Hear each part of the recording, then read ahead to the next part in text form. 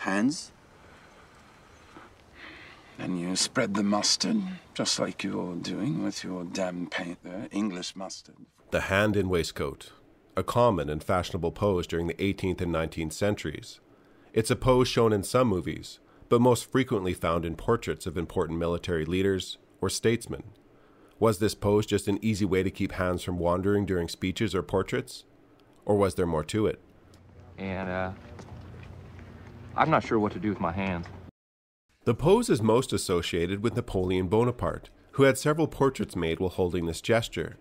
The pose was fashionable at the time and did and still does command an appearance of stateliness, a calm and firm demeanor. Like most fashion, it's hard to specifically pinpoint any one origin for the pose. There are many theories on the use of the pose, such as a secret Masonic meaning. A common theory associated with Napoleon was that he was clutching a painful stomach ulcer, there is evidence he may have had stomach cancer later in life. Then there's Red Bull's theory as to the pose.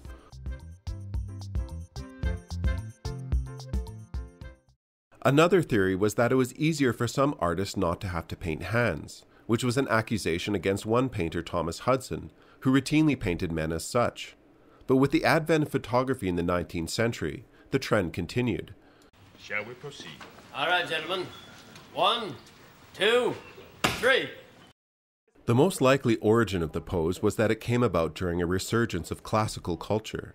Aeschines was a Greek statesman, a great orator, and founder of a rhetoric school, which taught skills in being stately and having a persuasive presence when speaking. Aeschines believed one key to being an effective speaker was to not gesticulate, believing words had more power and meaning if hands were left inside one's tunic.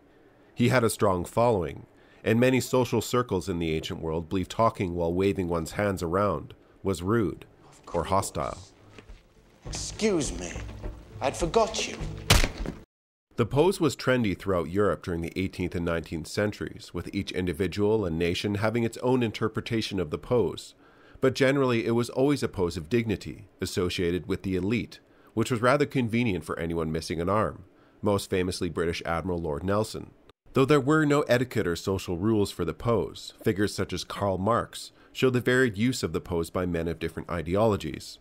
The pose was also widely popular in America. Civil War officers and generals were known to strike the pose, as did George Washington.